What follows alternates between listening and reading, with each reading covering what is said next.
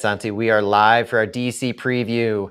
I get to be on location in a site that has absolutely nothing to do with St. Louis City at all, but we're, we're going to make sure we get a flyover in. We've got to get our preview in. Let's do it. All right, let me get this going over here on the Instagrams. You know, this could be one of those fun, uh, fun live shows because why not do a live show? You know, I always figure uh, let people see if something happens, but it could definitely be one of those where uh, a sleeping, potentially sick kid causes a, a little pause. So if uh, if I have to if I have to run for a second, um, I'll try to mute myself if I need to do that. All right, sounds good. Um, I hope uh, we're also okay on my side with the dogs. Um, last time on, I checked on them, they were sleeping, but you never know. Let sleeping dogs lie, as they say. Yeah. All right, you ready? Yep.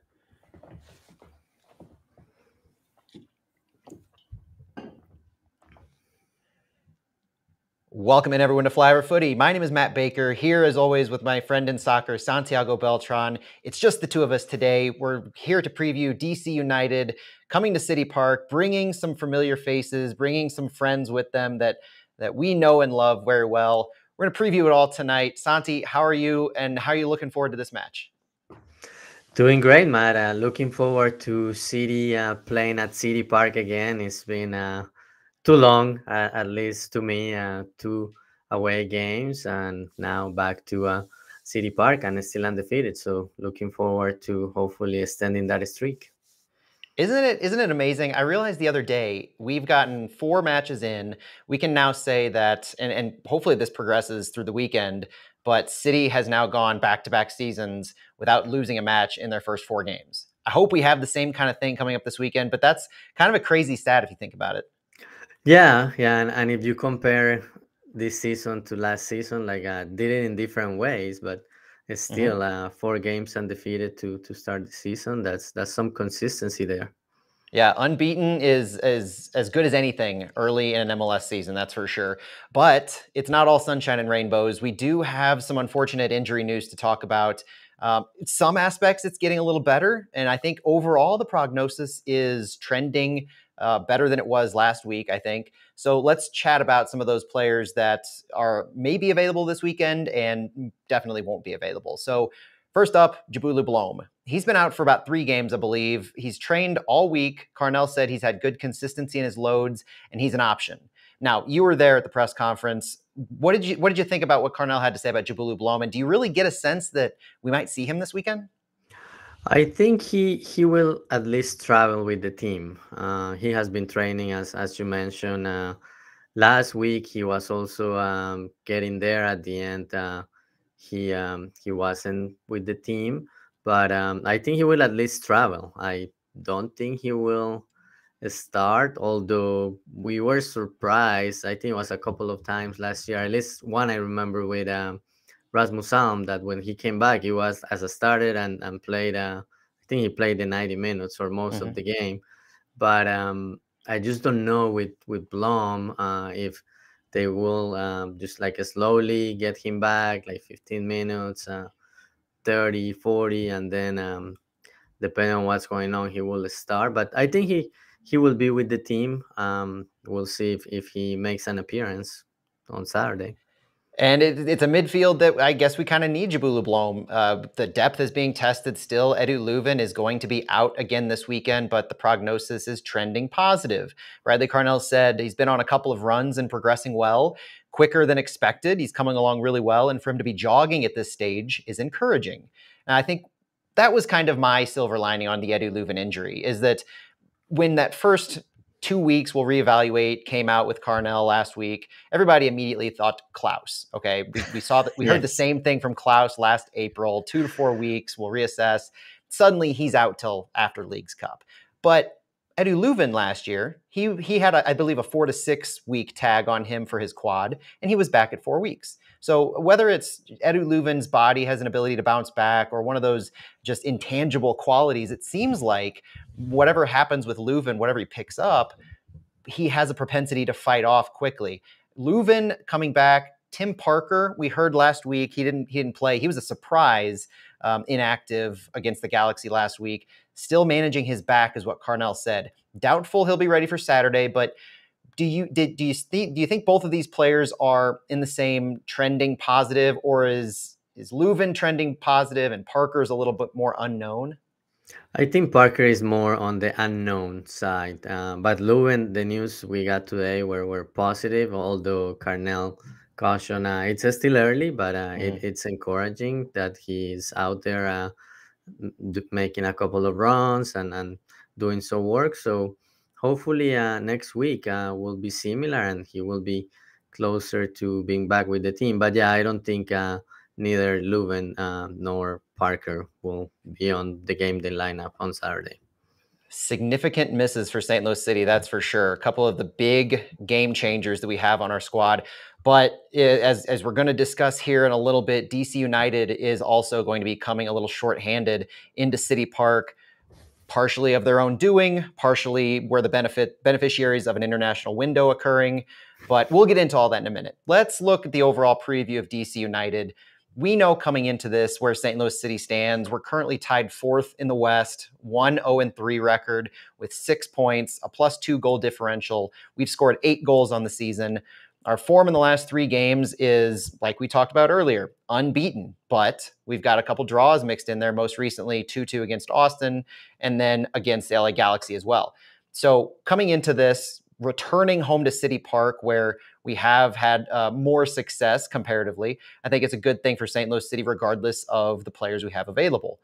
DC United coming into this currently ninth in the East with a 1 1 and 2 record, one win, one loss, two draws five points, and a zero goal differential. They've scored six goals, they've allowed six goals. Their form coming into this, they had a great 3 1 win to start the year. Christian Benteke, their striker, Premier League experience, had a hat trick against the New England Revolution. But since then, they've had a couple of away draws to the Portland Timbers 2 2, to FC Cincinnati 0 0, before last week's loss to Inter Miami 3 1 at home. DC has looked pretty good. They've had no real trouble scoring goals so far this season. And so we reached out, Santi, to a couple of our friends in the DC area. Cheyenne at Between Clean Sheets, that's BTWN Clean Sheets on X, says that United's high pressure approach is new this season. And so far it seems to be going well. They had a busy offseason, and among their fresh faces, coach Troy Lesesne has definitely made the biggest impact from our friend Jose Mauricio Umaña. He's a journalist from WTOP out in DC, and he co-host of the Bad Hombres FC podcast. He can be found at Jose underscore M underscore Umaña on X. And he says that DC United has adjusted well to what head coach Troy Lesesne wants to implement, which is a high pressing strategy that creates turnovers in the middle of the field. Unlike the last time they tried this type of strategy in the 21 22 season, this one is much more reserved and comes with a structured backline, which is something that United lacked last season. So as we as we look to what their kind of feedback is, and from what we've seen with DC United so far this season, what do you think about their club overall? Just some high level thoughts about DC United. Yeah, obviously it's a club that has a new coach and uh, is trying to implement a new style of play. Uh, they they made a lot of changes with the roster and they had a lot of players that uh, that were um, the contract wasn't renewed or options not exercised and um, they also brought uh, some uh, new uh, good talent um, including uh, Jared Stroud and Lucas Bartlett but um, so far what I have seen from them um, it's um, it's impressive and uh, and uh, mentioned that the biggest acquisition was coach uh, Troy Lesesne, and and I agree. Like he he has been around for a while. This is her first uh, head coaching experience. If you don't count last year, that he was uh, basically like that interim tag, but um, mm-hmm. he has experience in USL and had some success with uh, New Mexico United, and um, it looks like what he's trying to implement so far uh, is working. Um, I had I I caught a couple of interviews that he he gave um like in the last couple of months and uh, it just sounds like the way he talks and talks about um treat like like you know Carnell like gives a lot of importance to the personal side like mm-hmm. he he's he's like the same like he said like yeah these are players but it's important to get to know the person and understand them. So to me, it, it looked like a similar approach. Uh, it looks like um, his arrival has really motivated the players and even the the new players that have arrived. Uh, but I'm looking forward to this one just is because just because it is two new coaches uh, going against each other, um, styles that are a little bit similar. We're gonna get more into that, but uh, it'll be an exciting game. And that's another underlying story here in this whole match. You know, the Lucas Bartlett, Jared Stroud return to City Park. That's going to be the big, the A, the headliner story that comes into this. But Troy Lesesne, Bradley Carnell, both of the New York Red Bull system, coming into this as Carnell his second season, uh, Troy Lesesne as his first full year as an MLS head coach. He signed a three-year deal, so he's been given that that backing, that confidence booster from DC United saying that we want to give you time to build the squad that you want, to implement the style you want. And, and so the first four or five games aren't going to make or break Troy Lesesne, but we're starting to see some consistency in what to expect from a Troy Lesesne team, namely the high pressing system. So we've heard we've, we've heard that people have been impressed with DC United's attempts to create some attacks with others besides Christian Benteke, uh, using the wide lanes. Alex Bono at goalkeeper has been impressive. But Bradley Carnell said it himself that both teams are similar style wise. They they go for intense turnovers high up the field, and that's one of the hallmarks we've seen. DC United's style of play is high pressing nature, with DC statistically being the best pressing side in MLS currently as we sit going into uh, match day five. And a lot of this comes from Lesesne's time with the Red Bulls, that high octane pressing. They're looking to put the opposition under immediate pressure. It's one of the big key principles of the Red Bull style that is just permeating through all of its students. Carnell is one of them. The possession game, the the analytics behind how this press is implemented is fascinating to me because we saw last season with Bradley Carnell's side, they did not want the ball. They were very they were lacking success when they had greater than 50% possession. And it was clear they had one way they liked to win. And then this way was attacked later on in the season. This year, Bradley Carnell has shifted and he's shown a little bit more comfortability in possessing the ball, a little bit more willingness to, to work uh, on the ball as opposed to just against. But early in Troy Lesesne's time here, Santi, we're seeing a DC United team that through their first four games has had possession numbers of 53%, 58%, 42, and 48. Bradley Carnell's side has already dropped below 40% twice this season. But Troy Lesesne's side seems more than willing to build out of the back if they need to. They're willing to work the ball high up the field, even if some of the underlying metrics really show that they love that press. They love to move the ball up the field. These two teams are very similar in a lot of ways that the underlying analytics support. St. Louis being the lowest in sequence time in MLS, their, their time per possession is the lowest. DC United is the second lowest. St. Louis has the fewest passes per sequence. DC United has the third fewest passes per sequence. St. Louis is the quickest direct speed in all of MLS. DC United is the fourth quickest in direct speed. Neither team likes to have these huge passing sequences. St. Louis has the fewest 10 plus offensive passing sequences in MLS, and DC United has the fourth fewest.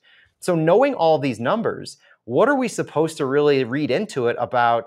You know, is this a who's going to win out? Is it a we're we're willing to let you work your style because we think we can beat you on the ball? How, how do you see this playing out with both teams loving this high press, uh, low sequence time? Yeah, definitely the first 10, 15 minutes are going to be key um, with each team uh, working on that high press. But uh, it's, it's difficult to to imagine how this is going to go just because it's two teams that like that high press. Although you mentioned the um, the possession uh, with DC United having a little bit higher uh, in that 50% range. And that's something um, that caught my attention uh, on one of those interviews. I mentioned that uh, I listened and I truly and said, "Yeah, I like a vertical team. I like the high mm-hmm. press, but at times, if we have to do it, we're gonna be patient and uh, play horizontally, create a space, and um, even though a lot of these statistics that you mentioned uh, show uh, like low, like uh, low uh, pass sequences and things like that." Um, at times they can work with the ball. So I think we're probably gonna see a mix of that uh, for DC United, and and maybe City will be forced to do that depending on on what's going on during the game. But uh, yeah, two very similar styles. Um, a lot of the, a lot of it will be about the energy both teams um, start with start the game with, and uh, see who can prevail and maybe a score early, and that could change the game after that. And that really did seem like the way Bradley Carnell was approaching it. You know, in the press conference on Thursday, he did have a lot of almost intangibles. It, it's going to be who's able to dictate early on, who's able to be the most intense. So knowing that both teams like to do similar styles in their defensive approaches, uh, it's it's who's going to be able to be more successful, who's going to want it the most. And it's not just the the defensive side of the ball that both teams are similar in. It's offensively. Offensively, both teams will shoot the ball a lot. You can expect more than 15 15 shots by each club in this match where DC United's averaging 17 and a half shots, St. Louis is averaging 16 and a half shots on target, 5.8 for DC, 5 for St. Louis you're seeing a lot of similarities in the amount of chances that are created. You're seeing a lot of similarities in the overall number of key passes that occur, those passes that lead directly to a shot. DC United being fourth, St. Louis being fifth in the league, respectively. Shot creating actions per 90, a, a stat that I really like that tells the two offensive actions that lead to a shot, whether it's a pass, a take on, drawing a foul. DC United's actually doing well, a lot better than St. Louis in this regard in creating those opportunities per 90 minutes. DCU's averaging just under 30 shot creating actions per 90 and St. Louis is averaging just over 23. So there's a pretty there's a little bit of a difference here in how many chances are created and that does lead into DC United having high expected goals. So it goes almost hand in hand with the success that DC's had in their pressing that they are one of the leading chance creators in all of MLS. And statistically, Troy Lesesne side has 8.65 XG this season, which is good for third highest in MLS. They have a lot of shots. They create a lot of chances. They've taken the most shots in the league throughout their first four matches of the year, but they've only managed to score six goals this season. Three of them were in their first game. They were shut out against FC Cincinnati, and they haven't just, just haven't been able to manufacture a whole lot. 32.3% shot on target percentage is in the lower half of MLS. They have one of those highest number of shots to occur from outside of the penalty area. So you're seeing them build successfully, but they might not be getting the most high percentage chances in the box. They might be taking some speculative shots, not unlike we've seen with a Chris Durkin here in the past few games. But this isn't to take away from what they're capable of in transition, but it does kind of provide a silver lining for St. Louis in that if you can prevent them in their transition from getting into the penalty box, they might be willing to take some of those speculative shots and low percentage chances that then St. Louis can either block, intercept, or turn around and create an opportunity for themselves.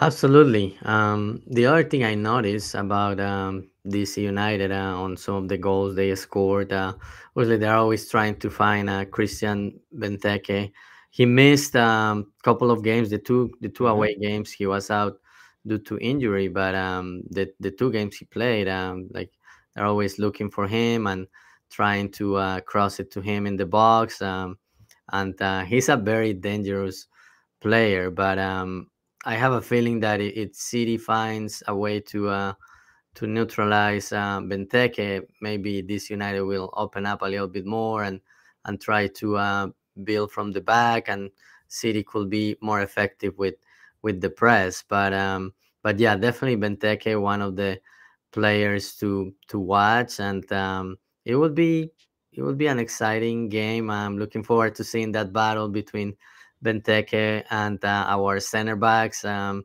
that will be a very important battle during this game. That might be my key battle to watch in this game. So before we get into the players, we've already mentioned Christian Benteke and what he's capable of. I think everybody knows the name. So what I'm looking forward to in this match, and this might be my matchup of the game, it's Christian Benteke against Joakim Nilsson. Knowing how Nilsson is capable, he's speedy to catch a player like that. He's not he's not willing to let somebody beat him uh, in a line breaking move. I want to see what Joakim Nilsson can do to neutralize Christian Benteke because some of the things that we're hearing is that if Bente- as as Benteke goes, so goes DC United. Now we know that since he's been out, they haven't really found the the winning side of the score sheet. And I think this is another opportunity, in addition to some of the ones that we're going to talk about, maybe in their fullback area and, and in their midfield, that if St. Louis can really shut down Christian Benteke, some dominoes start to fall in that DC United attack. And and so I go into what how does DC United build? You know, what what areas of the field do they try to prioritize? Uh, we know that St. Louis in the past couple of games, at least without Eddie Löwen, um, they've leveraged Thomas Totland on the right side and tried to build through the right, or they let Celio Pompeu uh, carry the ball on the left. And with Nicholas Dewar coming on potentially to see more minutes against DC United, that creates a some you know evening out possibilities of our fullbacks. And, and so it creates interesting matchups, not just Benteke against Nilsson, but looking at how DC United is coming into this match and what St. Louis has been able to build on in these past few matches. So, do you see a particular area of the field that St. Louis may be better served to focus on when it comes to these these matchups in possession? Well, St. Louis has St. Louis has weapons on, on both sides. Um, so Totland on the right, uh, which, uh, as you mentioned, uh, City like lean on him um, in the last game when Edu Löwen was out, but you also have Celio on on the other side. So uh, so I think uh, there are strengths on on both sides. One thing um, that this United is going to be missing is uh, Aaron Herrera because he mm-hmm. he is with uh, his national team. So maybe since he's out, maybe there will be more opportunities um, to attack uh, with Celio on that left side. And it's not just Aaron Herrera who's out. So that's a great seg into just we know who St. Louis is going to be missing, Edu Löwen and Tim Parker at least, uh, assuming nothing else happens between now and kickoff. But who's DC United going to be missing? And it's not just their right back, Aaron Herrera, who has been one of, if not the most important players. I mean, he his his impact to DC has been like Thomas Totland for St. Louis. But DC United's also going to be without midfielder Mati Peltola, who's going to be on national team duty for Finland. They're going to be without their left back, Pedro Santos, who got a red card in the last game against Inter Miami. So he'll be serving his suspension. They're without both of their starting fullbacks. They're without one of their midfielders. And this is a team that has shown a desire to build through the wings, especially on that right side. The formations they run out, the the way that they progress the ball, one of those principles of overloading certain sides, it all starts from their fullbacks. And so coming in without both of their starting fullbacks has to be seen as uh, just a huge, uh, not just issue for DC United, but a huge opportunity for St. Louis City. So you mentioned Celio Pompeu. We just talked about Thomas Totland, AZ Jackson, Indiana Vassilev, whoever's on the right side. There's big opportunity there because you assume that they're not going to change their overall style and the way they want to impose the ball, but the quality is going to be lacking, and that's that's what you have to see as an area of opportunity for St. Louis. Do you think that they or should they target their fullbacks a little more so than normally, trying to progress the ball through a little higher on their wings? Yeah, yeah. Although Bradley Carnell, he was asked about that today. Uh, mm-hmm. He was asked specifically about uh, Aaron Herrera, um, but um, obviously Bradley can say, "Well, yeah, he's he's out. Uh, he's not gonna be there." But uh, he was like, we don't like uh, when we look at at teams, uh, it's not so much about a player; it's more more about uh, what the style of play and and how the team progresses the ball, regardless of of the players. Um, but yeah, I think uh, as you said, the quality is going to um, be a little bit lower. So um, yeah, definitely that right, right side um, could be vulnerable with with Celio and with either uh, Nicolas Dewar or Anthony Markanich.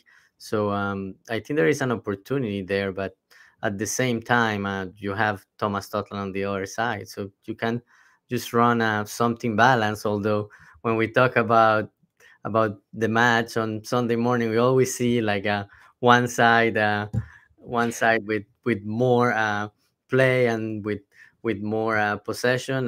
But I think City has a way to attack on on both wings uh, with guys who are playing well. Um, so um, if something is not working on one side, you can easily switch to um, the other side. And so, what's DC United going to look like without some of those players? And, if you assume that Troy Lesesne's not going to change up his philosophy, uh, like Bradley Carnell wouldn't, knowing that you know certain players aren't available, um, you look to what what their formation is going to be and how are they, how do they uh, historically uh, hurt opponents? And whether it's Cheyenne or Jose, they both had told us it's likely going to be some form of a 442 that either looks like uh, maybe a 4321, a 4132, a 4213 with Benteke up top. They, they seem like they have a similar mindset to, to the way the city's formations take shape in that defensively they look one way, but when it's in the offensive uh, zone, they will either uh, collapse on certain areas. They will send four or five guys forward into the attacking third. And so the shape outside of Christian Benteke is very fluid. And we've seen Jared Stroud being used on the right side a little bit more. He's he played both sides for St. Louis City, and we know that mm-hmm. he can mm-hmm. play both sides. And he he works well with overlapping fullbacks and with that pressing system. And so you look to their their overall shape, and DC United seems to have been staying very narrow, looking to force into some of those central areas where they can overload the midfield, putting some pressure on the opposition to force a pass wide from the center backs or fullbacks. And so they like to have these these overloads on the wide areas. And so when a ball is played forward to a winger on a touch line, you look to how St. Louis might try to progress the ball out on the wing. Uh, DC will press with Jared Stroud. They'll press with a fullback on the right side. They'll put pressure on those two forcing areas. They'll bring in their center defensive mid uh, to be able to kind of nip and try to take possession centrally. And the other thing I've noticed is that Troy Lesesne always tries to keep numerical advantages he holds that zone in the central area. And so if you look at the heat maps, there's a lot more gray, there's a lot more blue indicating higher percent possession in the central areas for Troy Lesesne's side versus St. Louis City, always creating those overloads, whether it's in the press, whether it's in, uh, in, in on the ball. He's always trying to take those advantages that a 4 1 3 2 or a 4 3 2 1 shape can offer, getting narrow and trying to keep huge overloads on one side. So that's why I kind of look at how a Nicholas Dewar or a Celio on the opposite side might be very impactful and how quick we can look to a guy like Chris Durkin to redirect the ball. Will we see more switches from St. Louis because DC, not unlike St. Louis, but DC really does like to create these overloads on their side. So the moment you can either force a turnover or break through that, you know, you might be looking to take advantage of where they've committed and leverage the other side. So, how effective can St. Louis be in working the ball on both sides?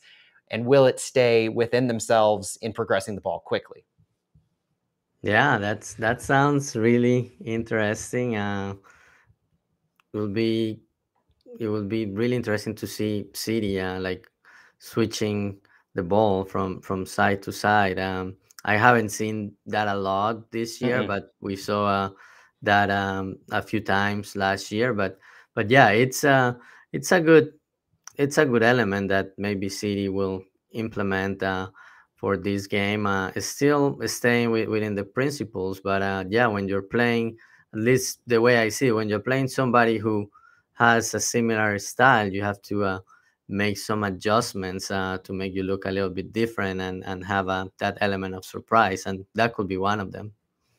And in in a game like this, I mean, you kind of have to look for how you can outsmart the opponent, right? Because both both St. Louis City and DC United, the way that they play, we just talked about so often, the way they play are so similar in what they try to do against the ball and what they have been trying to do on the ball. So if if this isn't going to be teams that can both have 35 40% possession, hmm. you know, who's going to be willing to do something a little different to pull out uh, something from your trick book to say we haven't shown this look yet, but we're we're willing to, we're capable, and we can beat you a different way. Maybe this is the good opportunity that St. Louis has, not just because DC is missing some of those critical pieces, but just playing a team that tries to do the exact same thing. It's not like the LA Galaxy game. It's not like both teams are going to play their style and we're just going to see who's better at it. Mm-hmm. Both teams can't play a 40% possession style.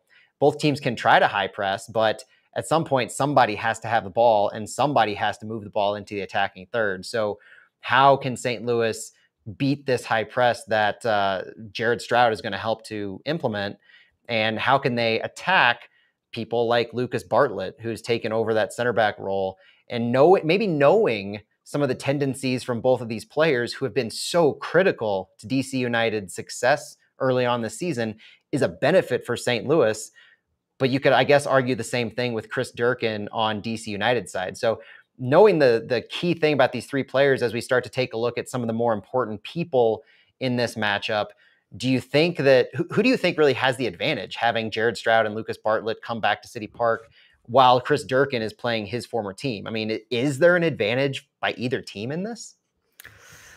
Maybe maybe DC United uh, has the advantage, uh, mm. and I I actually and I'm gonna I'm gonna tell you why. Uh, I asked Carnell uh, during the press conference if uh, like uh, having Chris Durkin like was good for scouting um, DC United's players, and he said, well, it's a new coach, it's a new style.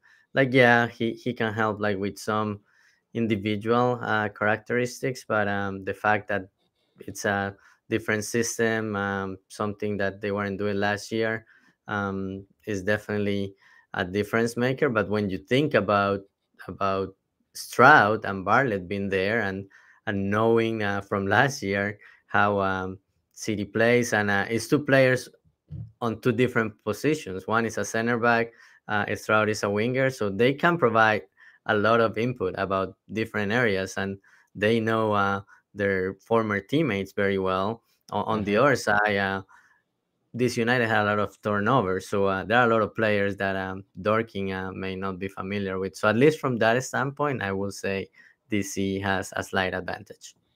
That's a fair point, given the overall familiarity. It's not just about those three players. And that's important to remember. That's a really good point because how many times have we talked last season, especially, where the press conferences during the week, it would be Carnell sending out uh, or, or, the team sending out somebody who is familiar with the opponent, who has history with the opponent, and we've talked to them about, you know, how much have you given insight or intel to the team. That might not be the case for what Chris Durkin can offer. That's a very good point because not just of the turnover in players, but the overall style is so vastly different from Troy Lesesne. And so if you if you take the scouting reports at face value of DC has the advantage, um, maybe there is some some value to City on just how important Jared Stroud and Lucas Bartlett have become for DC United. Because talking to both Cheyenne and Jose, Jared Stroud and Lucas Bartlett are key pieces to the 2024 DC United team. Stroud has been a promising addition, Bartlett too. They're both thankful for the trade overall. I think they're they're really liking the pieces that that they've put together around Stroud and Bartlett. Stroud, in particular, Jose has said that he's slowly building to be a key piece in the attack. He scored against Miami, we know, something that Troy Lesesne had told him he needed to do to break out of his scoreless streak. The relationship that Stroud has with Christian Benteke, with Gabriel Pirani over in the midfield has been working extremely well. Christian Benteke raves about Jared Stroud, apparently. And we've already seen some success build from all of those relationships in the attack and they're expecting Jared Stroud to play as important, if not a more important role for them than he did with City last year. And on the defensive side, Santi, Lucas Bartlett has really fit in well on that center back line. The partnership with Chris McVey has been extremely effective. And Jose says it's going to take a lot for Steven Birnbaum to reclaim his spot back in that starting 11. And they're calling Lucas Bartlett the steal of that trade. And seeing him have four starts to start the season and already approach some numbers that he had with City last year, it really seems like this trade has worked especially well for a guy like Lucas Bartlett. Yeah, hundred uh, percent. He he has been really good with with DC United, uh, starting every game as you mentioned. And I um I was talking to to somebody this week, and I think um City had to just uh, include Bartlett in order to to get Durkin but uh, he was he had a good season with with City last year, and mm-hmm. towards the end, um, when he was with City two, he got injured and didn't really get a lot of chances to play after that. But um, he was he was good when when his number was called. When uh, I was actually thinking of like a lot of us were probably thinking about him when when um, the team was dealing with all those center back injuries um, a, a, week or two ago and um, it was like okay last year there were a lot of center backs there was a lot of competition and now uh, that they are not here the team uh, is struggling with injuries and having someone like like Bartlett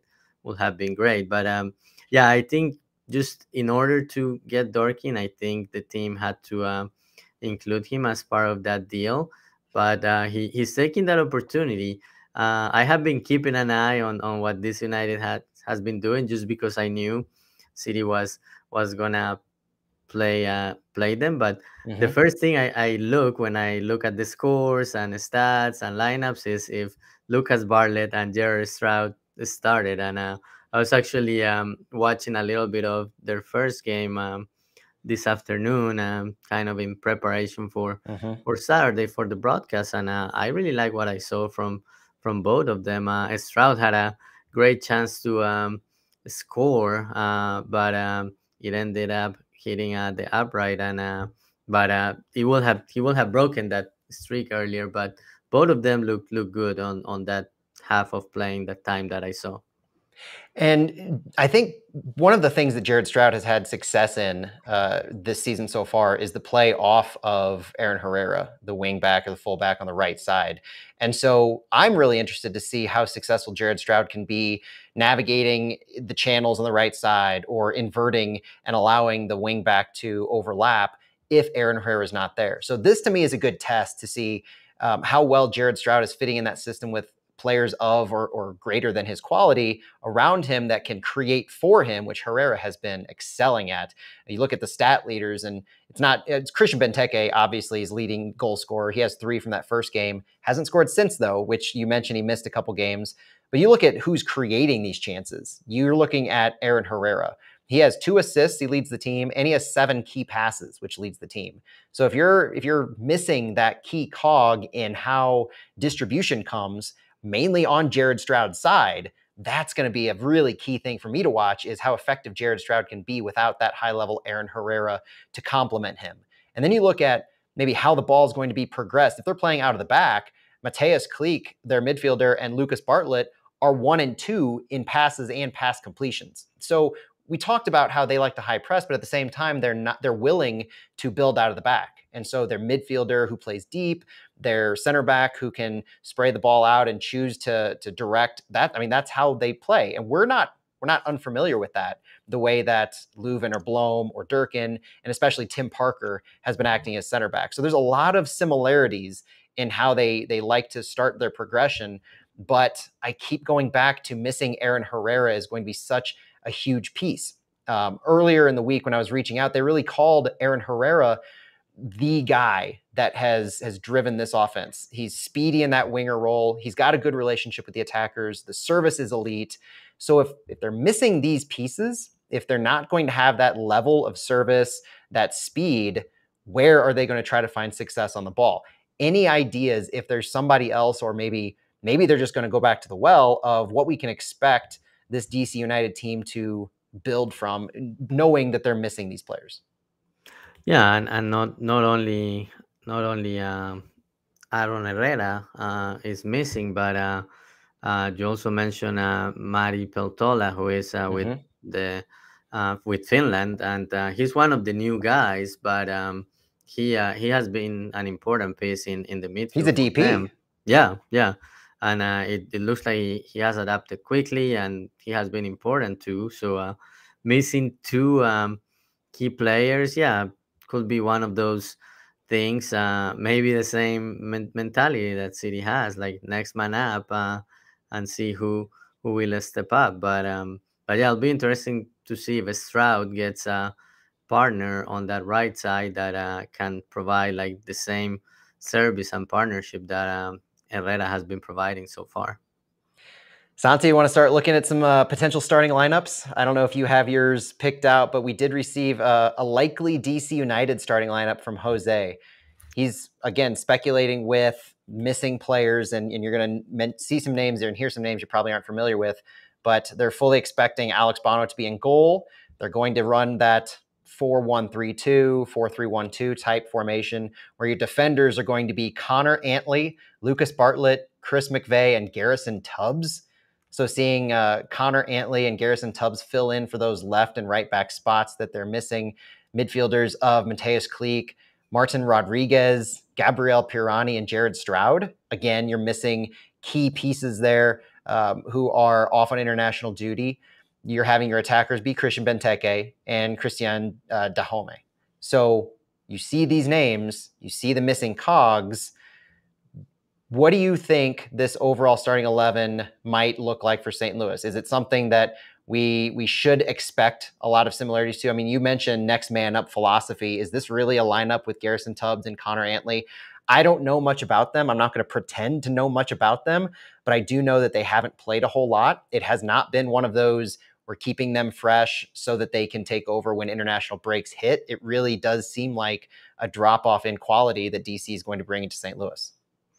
Yeah, uh, I don't know anything about them either. Um, but yeah, just the fact that they haven't had much playing time could be uh, an advantage for for City on on either side uh, with Celio or with Totland and mm-hmm. um, if Vassilev plays on the other side, uh, they could uh, take advantage of uh, maybe uh, those um, left and right backs not not having played much um, this year and maybe not not having a lot of familiarity with uh, with their teammate teammates in uh, in real game situations. Obviously, they they train together, but when it comes to um, the actual game, things can be a little bit different but um but yeah you never know um and as carnell said like yeah we like we we're, we're not so much about the names it's more about what the team does and, and how right. they play um so so yeah uh, without knowing much about these players i i wouldn't venture into saying that uh that this game will be uh like a loop sided on for on city side uh, but but yeah definitely some some things that that city could try to uh, exploit for sure. And I, I, do think it's a that's a good uh, reality check. Is that just because we're not familiar with some of these players, Connor Antley, Garrison Tubbs, Martin Rodriguez, uh, that doesn't mean that they don't have the quality to step in. You know, I don't want to be overlooking who this is, while at the same time being optimistic by the fact that some of those quality fullbacks aren't in the lineup. You know, if they're anything like St. Louis with the next man up philosophy, they're just as likely to put out starting caliber fullbacks in their place. And so that's definitely the the take this take these missing pieces with a grain of salt perspective. I like a St. Louis lineup against this that is as fast as they come. I want speedy players to get in behind these fullbacks because I'm fully expecting DC to stick with that same exact philosophy where you push your fullbacks high, you try to create the overloads with your attacking wingers. And so doing that could leave them vulnerable if we're successful in our counterattacks. And so my lineup will consist of Bürki and net, Nicholas Dewar getting his first start at left back, Joakim Nilsson, Josh Yaro, Thomas Totland makes up the back line, Chris Durkin and Thomas Ostrak back in the midfield, Celio Pompeu and AZ Jackson as our attacking wide mids, Klauss and Sam.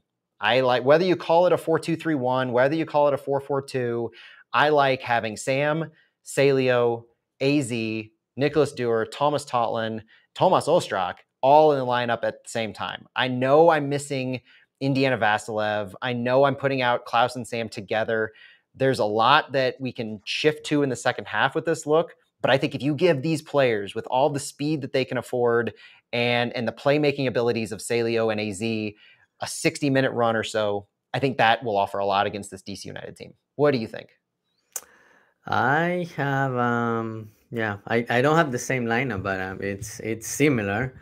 So uh, I have Bürki, then um I I have Markanich starting. I I think uh, Nicholas Dur- Nicholas Dur look good, but uh, I think uh, Markanich uh, deserves uh, another chance. Uh, so I'm gonna stick with Markanich there. Then uh, Nilsson and and Josh Yaro, Thomas Totland on on the right side and then uh, we get to see uh, Dorkin and and Ostrak uh, together again. I think that partnership worked well um, last week, uh, and um, I think Thomas Ostrak is is growing mm-hmm. into mm-hmm. that role. Then um, Celio and I have in the starting, and then uh, AZ, and um, this time I'm gonna have Sam starting instead of Klauss. You know, I, I, like the so we can we can argue and we can debate the uh, Indy, the Klauss, Az, say all those attacking players. But I want to talk about Thomas Ostrak for a second because you you really hit the nail on the head of his growth uh, in that number eight role centrally. One of the one of the issues that we had seen previously, especially as it relates to Ostrak and Az, is that when they had seen time earlier in the season and even in preseason, they seemed like they were collapsing space amongst them. They didn't really have the positioning down pat. But this past game against the Galaxy, I the goal that Tomas Ostrak scored, I mean, that is picture perfect spacing in AZ and uh, and was it Klauss or Sam? I forget who was there. I think it was Klauss, But both yeah. of them were right next. Yeah, both of them were next to each other, and you had Ostrak pop right through the middle. I mean, knew his responsibility, knew the spacing with AZ as that second striker. That worked phenomenally. So if we have something similar where your lineup might, I mean, you might have, you might win the consensus starting 11 we put out this weekend. Uh, because I, I could see that where you have AZ and you have Sam as those two strikers, and then Ostrak has that space. Maybe that's the X factor in the offense where you're getting that those push points working so well with Ostrak there. Uh, you let Indy work out on the right side and you use AZ more as a second striker. I like that a lot. I'm talking myself into it here. I can I can absolutely see that working, but I still like the speed. I mean, the speed is still there and that's I think one of the absolute key things, not just controlling the midfield but taking advantage of some of those wing areas. So, all that said, score predictions. And I'll I'll say that both people that I talked to from the DC side gave a 1-1 score independent of each other. So, 1-1 I 1 to one mm-hmm. I think they're going to be happy with the draw. I, I know they're going to fight. They're going to try to get as much as they can, but this is a, a, same type of a scenario that St. Louis had in the past two games, going into you know both of our away matches uh, against Austin, against LA. A draw away in MLS is good. Do you think we can put the rain on their parade and pull this out at City Park? Yes, um, definitely. At least for me, it's going to be a City win, and and yeah, this United is gonna is gonna put a good fight, and uh, I think um, it's gonna take a while for for City to uh, break it down. But uh, I'm going with a 2-0, another uh, clean sheet for Roman Bürki. 2-0. I like that a lot. I think I'm going to go I'm feeling optimistic about this. You know, you, you tried to bring me down there for a minute, Santi but I'm going to go 3 0 St. Louis. I think I, I, liked what we saw against LA. I think we can build on it. And I like Roman Bürki every single game of the year. And so I'll, I'll get his, uh, his next clean sheet, second one of the season against this DC United side. Santi, any last words for this match going into the weekend? No, just looking forward to uh, being back at, at City Park. Uh, it's been a, a while, and and also uh, getting back to um, winning. Uh, obviously, two great uh, results playing away, but um, now the team needs to uh, start um, getting three points and um, just uh, start a winning a streak at City Park. Couldn't agree with you more. I think this is going to be our weekend to get back on track in the winning column, and City Park is always a fortress. Can't wait to be back there. Can't wait to hear your goal calls. I hope we get to hear a bunch of them, Santi. Thank you for joining us here on Flyover Footy. My name is Matt Baker for Santiago Beltran. We thank you so much for joining us. We love that you've joined us in the chat on our live stream when we're doing this. If you're listening to us on the Big 550 KTRS, thank you so much. Check out our podcast, like and subscribe it if you get the chance. Really appreciate it. Um, for now, we'll leave you with that and go City. All right, Santi. So, everybody on the live stream, thank you so much for joining us. We're not going to do a wind down this week. Obviously, I am not at my house. Um, you know, there we could go on and on about the U.S. Open Cup. I think I'm on borrowed time with a sick kid in the other room, so we're gonna we're gonna call it at that for tonight. We'll be back on Sunday for the Fallout, and yeah, Santi, thanks for joining me tonight. Yeah, I'll see you. If I don't see you Saturday, uh, I'll see you Sunday for sure. That's right. We'll see you. Bye, everybody. We'll talk to you later. Bye, everybody.